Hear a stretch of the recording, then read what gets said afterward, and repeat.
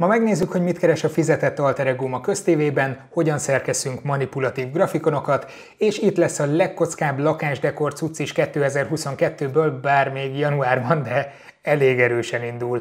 Viszont lemaradtok az olyan hülye szóviccekről, mint hogy ha már régen fogyasztottál alkoholt és úgy ülsz a volán mögé, azaz a vittas vezetés?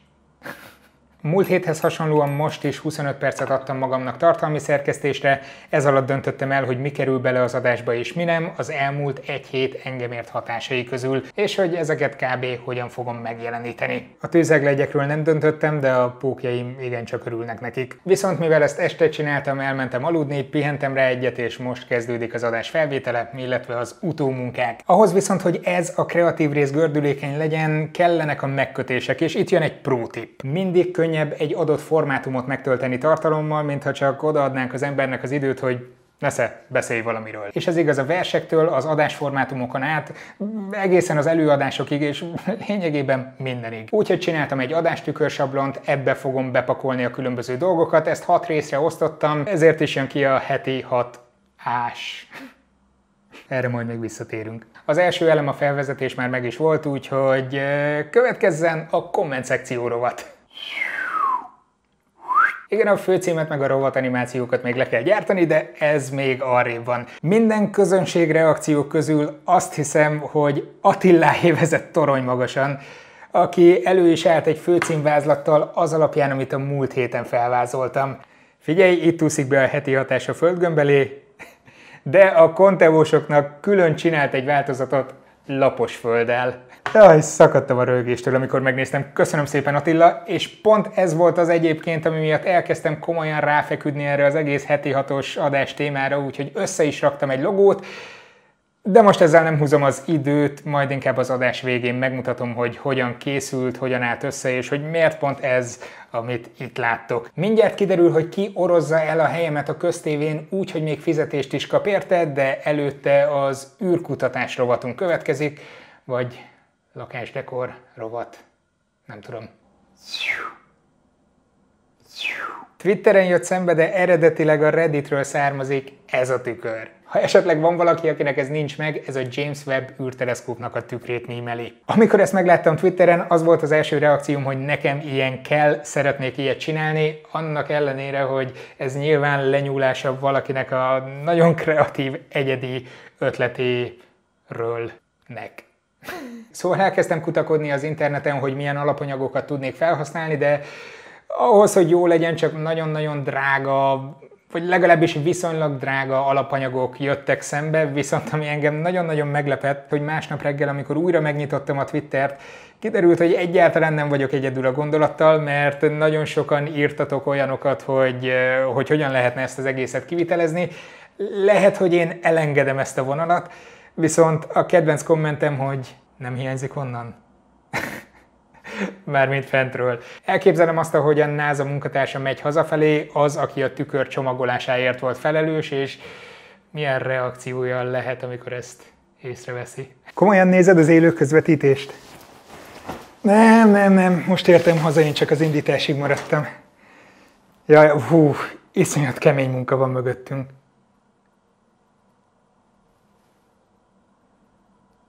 Várj egy picit. Hív a főnököm a másikon. Mondjuk az is nagyon érdekelne, hogy miből lehet ez az üvegvitrin, hogy ezt a masszív követ így elnyomja, és nem nyomja agyon azt a csirkét. Erről lehet, hogy valami szakértőt kéne megkérdezni, nem? Talán ma a kontinensen nincs is, csak Angliában ilyen szintű vitrin. És ha már szakértők, nem mehetünk el a hiteles tájékoztatás és a manipulatív megjelenítés közötti vékony vonal mellett sem. Ugyan ez a grafikon borzolta mostanában a kedélyeket, de ez egyáltalán nem egyedi eset. Politikusok, marketingesek előszeretettel alkalmaznak olyan ábrázolásmódokat, ahol még a valós adatok is jó színben tűnhetnek fel. Viszont szeretném, ha nem csak a fikázás menne itt a heti hatásban, hanem konstruktívan állnánk a dolgokhoz, Úgyhogy összeraktam nektek egy tutoriál videót, hogy hogyan csináljunk többé-kevésbé alapos grafikonból egy masszívan manipulatívat. Íme. Hello, this video was sponsored by Skillshare. I wish. Szóval ebből az ábrából kellene kihozni valamit, ami kellően manipulatív. Üff. Tudom, hogy mi az első gondolatotok. Ránéztek erre, és talán sokaknak feltűnik, hogy ez nem egy szigmoid görbe, hanem annak valószínűleg a deriváltjaként keletkező haranggörbe, de nem ilyenekbe fogunk belemenni, még csak nem is olyanokba, hogy mi lehetett az adatoknak a forrása, hogyan kell ezt egész pontosan értelmezni. Az első dolog mindig az, hogy megnézzük, ki a célcsoport. Uh, Oké, okay. ha ezt az ábrát bedobjuk neki, akkor könnyen lehet, hogy az első gondolata az lesz, hogy milyen bének voltak ezek, hogy ezekkel a pöttyökkel, meg háromszögekkel elsett találták a vonalat. Ő ennél sokkal ügyesebb. Úgyhogy meg kell próbálnunk elterelni őt ebből az irányból, és azt javaslom, hogy mivel úgyis csak a hullámoknak a csúcsa a lényeg, ezért nézzük meg precízen, hogy ezek mit takarnak. Oké, okay, a piros görbe az 165-ös érték nagyjából, a kék az 134, a zöld pedig 92 a csúcsnál. Úgyis csak a csúcssal foglalkozunk, mert az a lényeg. Megnyitunk egy sima Excel táblázatot, én Google Drive-ot fogok használni, és megadjuk ezeket az értékeket. Nézzük, a zöld görbe az a legpozitívabb, azért jelölik zölddel. Az Pest, de mindenki tudja, hogy Pest megye az lényegében Budapest, meg az agglomerációja. Erre mondtunk egy 92-es értéket. A kék görbe az az országos átlag, ami 134, a piros pedig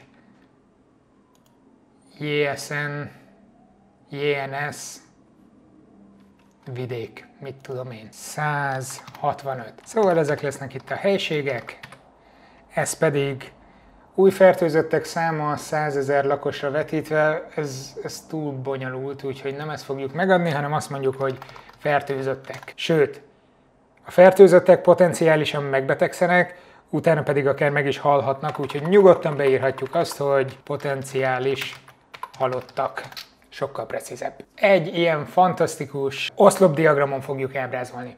Igen, csak hogy az átlag soha nem érdekel senkit, azzal nagyon könnyen be lehet zavarni az embert, azt ki is lehet törölni, tehát látjuk Budapestet, illetve vidéket. De ahogy az eredeti ábránkról kiderül, a zöld vonal az, ahol legmagasabb volt az oltottság, tehát ott van a legkevesebb fertőzött, a piros vonal pedig az, ahol a legalacsonyabb volt az oltottság mértéke, tehát ott van a legtöbb fertőzött, vagyis az esetünkben a potenciális halott. Úgyhogy nem hiszem, hogy nagyon túlzunk azzal, hogyha ezeket átnevezzük, és azt mondjuk, hogy oltottak, többnyire oltottak, illetve oltatlanok. Már is lehet látni, hogy a potenciális halottak száma az oltatlanok esetében sokkal magasabb, mint az oltottak esetében. Ezzel van azonban még egy aprócska probléma. Nem elég figyelemfelhívó, úgyhogy azt javaslom, hogy játszunk rá egy picit erre a hatásra, és színezzük át ezeket a veszedelmes, oltatlan tömeg, aki nagyobb eséllyel hal meg, legyen piros, az oltott pedig egy szép, békés zöld szín. Ha azt mondanátok, hogy ezzel megvagyunk, nem is tévedhetnétek nagyobbat, ugyanis Lényegében, hogyha megnézitek ezt a két grafikont, egész idáig tök ugyanaz a kettő. Ez a tartomány, ami itt a 92-es érték alatt van, egyáltalán nem érdekel senkit, úgyhogy ettől könnyedén meg tudunk szabadulni, méghozzá úgy, hogy a vertical axis, vagyis a függőleges tengely beosztását Kicsit manipuláljuk, ezzel természetesen az értékek nem változnak, de már is egy jobb optikája lesz a dolognak. Ugye 92-ről indulunk, tehát jelöljük mondjuk 90-nek az oltottak számát, a maximum pedig 165 volt, legyen ez egy olyan érték, ami szinte kiveri a plafont, úgyhogy 165 legyen a csúcs. Már is mennyivel szebb, nem? Rögtön lehet látni, hogy az oltottak alig halnak meg, az oltatlanok pedig jó nagy százalékban. Már csak egy kicsit kell módosítani, cím legyen az, hogy szinte meghalsz, ha oltatlan vagy. Négy. Oké, okay. illetve a helység az nyilván ebben az esetben értelmetlen. Potenciális, ez egy bonyolult szó, úgyhogy írjuk azt, hogy szinte halottak száma. Lényegében készen vagyunk. Ennyire egyszerű, ingyen egy manipulatív ábrát készíteni, többé-kevésbé pontos adatokból. Éljetek ti is ezekkel a lehetőségekkel! Sziasztok! Ez mintha csak rímelne arra az eheti Szertár Podcast adásra, ahol azt vezettem végig, hogy miért elvesztésre a tudományra és technikára épülő civilizációnk. Ha még nem hallgattátok meg, akkor ott a link a leírásban, az adásnak azt hiszem az a címe, hogy 9 szög a civilizációnk koporsójában. Na de most jöjjön az, hogy mit keres a fizetett hasonmásom a köztévén. Agypadlizsárovat. Kicsinye. És hogy megyünk a mama felé, úgy, úgy, úgy mindenki a mamára hasonlít. Érdekes. Én még ilyet életemben nem láttam. Ez egyik. A másik, még milyen összetartó család. Együtt vannak, együtt alszanak, a papa fent vigyáz, a legbelül az ő kedvenc kisfia vagy kislánya, én ezt meg nem mondom minden, itt pihenget. Hát, hosszú életet a kis cicáknak. Hamarosan jövök vissza. Hát ez teljesen kész. Nagyon sokan kiakadtak az interneten azon, hogy, eh, hogy mi ez a műsor. Ráadásul sokan azt emelték ki, hogy ennyi pénzből, amennyiből a köztévé gazdálkodik komolyan, ezt lehetett összerakni. Ez legyen szerintem a legnagyobb baj a köztévén. Egy kis színes tartalom még azt is mondom, hogy magával ragadó egy adott célközönségnek. Én is jókat derültem rajta egyébként, amikor néztem. Uh, hogy pontosan minek kéne a közszolgálati tartalomnak lenni, az, az jó kérdés, ezen nagyon sokat szokott menni a vita.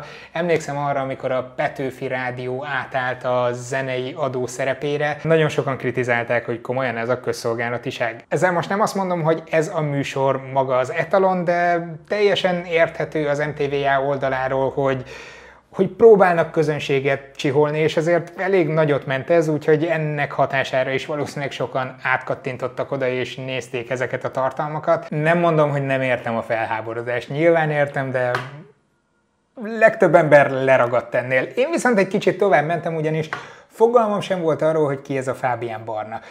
Lehet, hogy sokan tudják, én viszont nem tudtam, úgyhogy egy kicsit mélyebben utána jártam, és megnyitottam a Wikipédiát, ahol nem tértem magamhoz. Elkezdtem olvasni az életrajzát. 1967-ben született Debrecenben. Ki született még Debrecenben? Én. Egyetemi évei alatt a Debreceni Csokonai Színház statisztája. Ez biztos, hogy nagyon kevesen tudjátok rólam, de én az egyetemi éveim alatt statisztáltam az Erkel Színházban, illetve az operában. Olyannyira, hogy életem első hivatalos fizetése a Magyar Állami Operaháztól származik, és amikor ezt egy könyvelő ismerősöm meglátta, akkor azt hitte, hogy itt valami tévedés lehet, és véletlenül valakinek másnak az adatai kerültek az én nyilvántartásomba. Nem. Debreceni Agrártudományi Egyetemen végzett növényvédelmi szakmérnökként. A Corvinuson végeztem növényvédelem szakirányon. és ezzel még mindig nincsen vége.